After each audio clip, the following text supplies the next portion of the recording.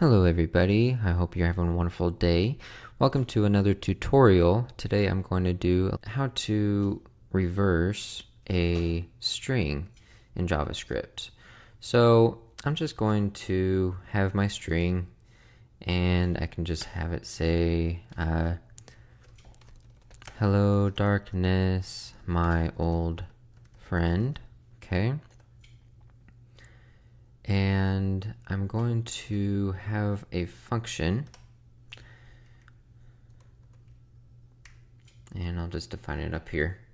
So I'll just make this a constant, so const, and I'll just say reverse string, and I'll just make this into an arrow function.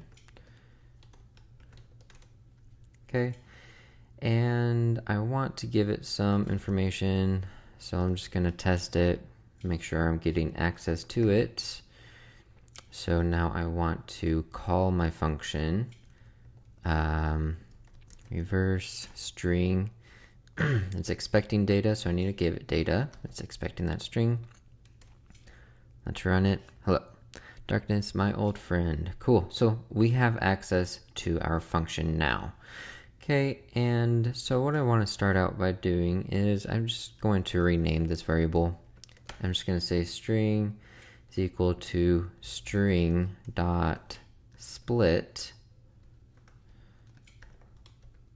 And I need to give split a little bit of a specification of what I want to split it by.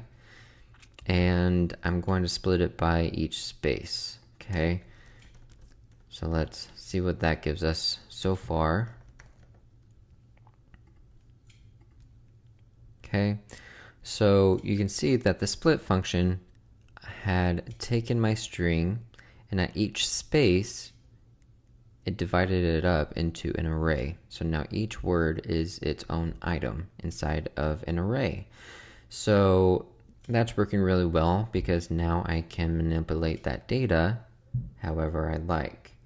And so I can, actually let's, let's keep that.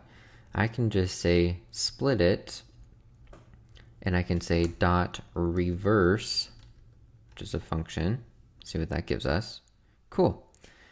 I've used a lit a an array function that takes the items and puts it in reverse order. And now I can join them and I can say that all on the same line. I can say dot join and it's asking me what I want to join it with. I want it to join these items together in a string, but I want a space in between. So I can say space. Okay, and I spelled friend wrong. There we go. Friend, old my darkness, hello. So that's working really well. And you can see even kept the capitalization in there, which is proper behavior. And we can see that we can join this with whatever we want. We can do a plus sign.